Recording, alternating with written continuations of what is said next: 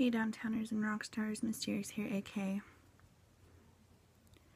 AK Jazz from the band Broken Downtown.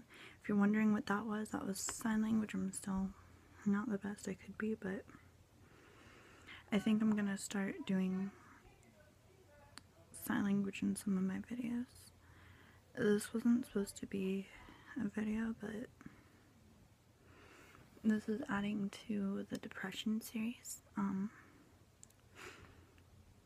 we all know someone or have lost, lost someone to depression or suicide.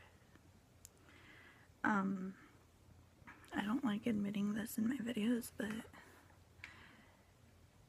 I do have issues with self-harm. I have self-harm before, and I'm honestly scared to do it again.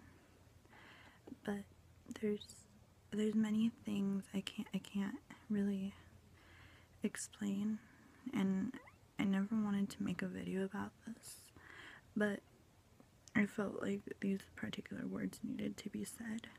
Um, we're going back to the depression awareness series and I'll be sharing some of my stories.